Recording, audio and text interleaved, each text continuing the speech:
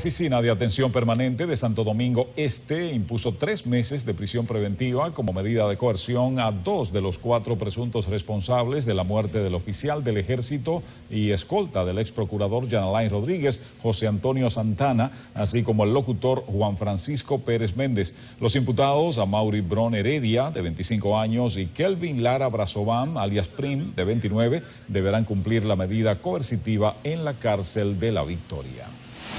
Fue una decisión justa, eh, fueron tres meses preventivos para lo que están. Eh, todavía tenemos entendido que todavía hay personas que faltan y también en su momento caerán. Conforme a la prueba presentada por el Ministerio Público, entendió el tribunal que son las suficientes para imponerle la medida. ¿Y esa reunión tenía allá? Las autoridades continúan la búsqueda de otros dos sospechosos apodados Brian y Morocho. El primer juzgado de la instrucción del Distrito Nacional ratificó la prisión preventiva que purgan los seis imputados en el denominado caso de corrupción Coral. Rentería Montero nos cuenta.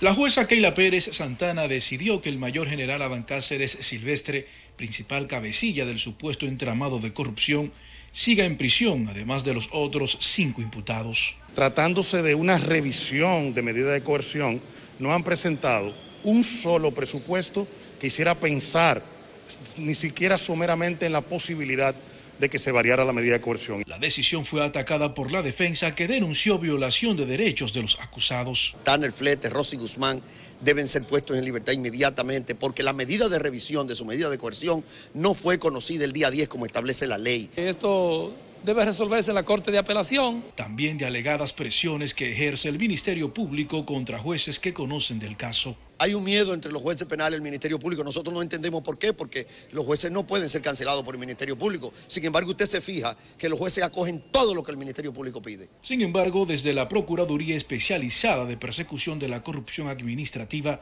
se niega lo señalado. Lo único que hay en este proceso y en todos los procesos que estamos llevando a cabo es muchas pruebas, una cantidad de pruebas que resulta abrumadora para las defensas y quizá eso lo puede presionar a ellos. Informó que durante la audiencia de este viernes se aportaron nuevos elementos de prueba que agravan la situación para los imputados. De destrucción de prueba en el caso de Sestur, presentamos evidencias de pagos millonarios y presentamos además evidencias de que unas armas que se ocuparon en este proceso no tienen ni siquiera registro de ingreso a República Dominicana, lo que agrega el delito de tráfico de armas en este proceso. Además del general Adán Cáceres, ex jefe de seguridad del expresidente Danilo Medina, al expediente Coral se suman la pastora evangélica Rosy Guzmán y su hijo Tanner Flete Guzmán, también el coronel Rafael Núñez de Asa, el mayor del ejército Raúl Girón Jiménez y José Montero Cruz.